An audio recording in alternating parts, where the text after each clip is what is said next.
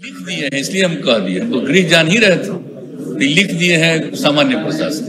ने भेजिए भेजिए उसको गृह में भेजिए।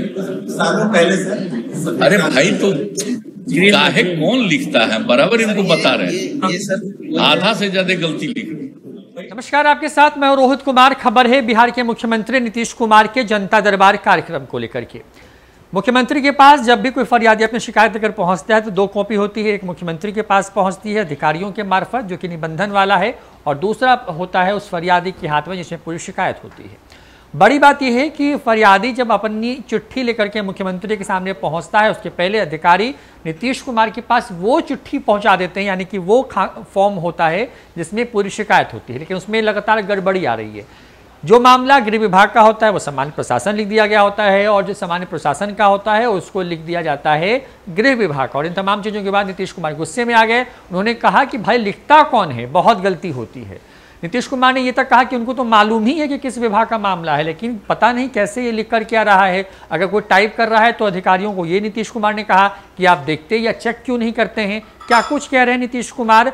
उन चीज़ों को लेकर के जहाँ पर लिखने में गलती है विभाग को लेकर के और किस तरीके से कन्फ्यूज़न क्रिएट हो रहा था जब जनता के दरबार कार्यक्रम में मुख्यमंत्री लोगों की फरियाद सुन रहे थे उस दौरान सुनवाते हैं पूरी बात। आजकल ये ट्रांसफ़र हो गया गृह वही ना हम तो गृह दे ही रहे थे। आप लिखे हुए थे इसलिए नहीं सर नहीं कह रहे सर हमारे नहीं तो लिख दिए हैं इसलिए हम कह दिए। तो गृह जान ही रहे थे।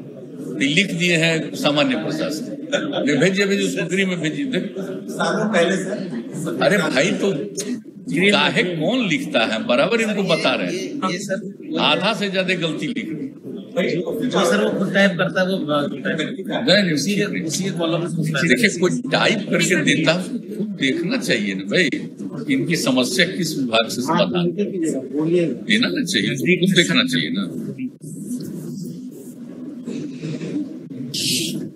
हजूर हम एलहुँ तीन साल, तीन महीना भऽ गेल भंगटिया के सीओ प्रास के एसडीओ रास्ता पूरे टाइप कर देने यऽ घेर देने यऽ तीन चमाल ओहि मलैसी ओहि अंदर में यऽ एगो बहुत साल मरि गेल।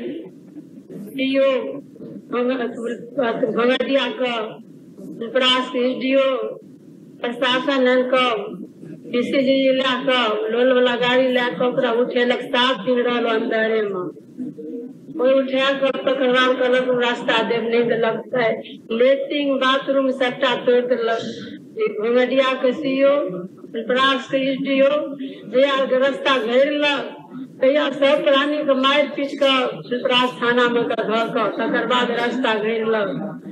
रास्ता घेर तऽ कहियो तू तऽ तोरा रास्ते घेरल तोरा हम गाँव से बगेबो गाँव अब जे छै से राम नहीं तीन साल, तीन महीना भऽ गेल पड़ोसी के छत पर से बाँस के सीढ़ी लगा कऽ अल्बेस्टर पर चढ़ि कऽ दोसर पड़ोसी के छत पर चढ़ि कऽ हम माल के चेहरा दै भैंस के आनि कऽ सर, हमर महादलित परिवार छी।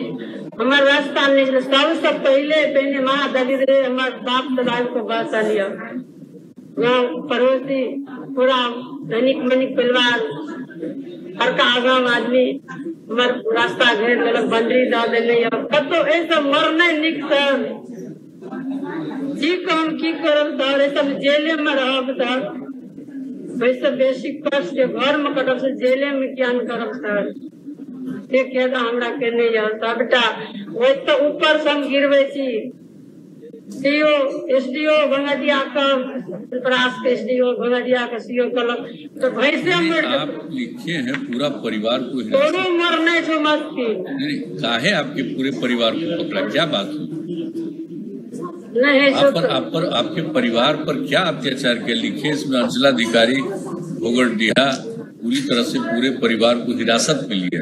वो काहे आपको अरेस्ट किया था?